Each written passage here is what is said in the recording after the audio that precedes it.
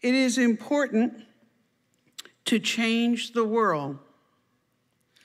But remember, you change the world changing one person's world at a time.